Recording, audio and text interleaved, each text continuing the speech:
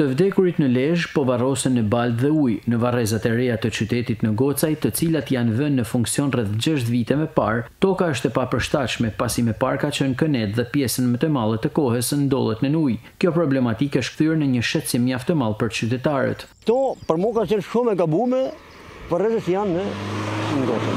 Na e dimë se Gocajt e Kakarriqi janë këta moçale. Nuk kanë kërkuar një vend përshtatshëm që të jetë niveli i thatë ose niveli i terrave për këto godrena apo këto vena. Këtu nga basi me qenë në jo në vorreza, po me qenë një katastrofë tepër e madhe. As ke ku vjen me gjinazën për me ardhë, as kena rrugë.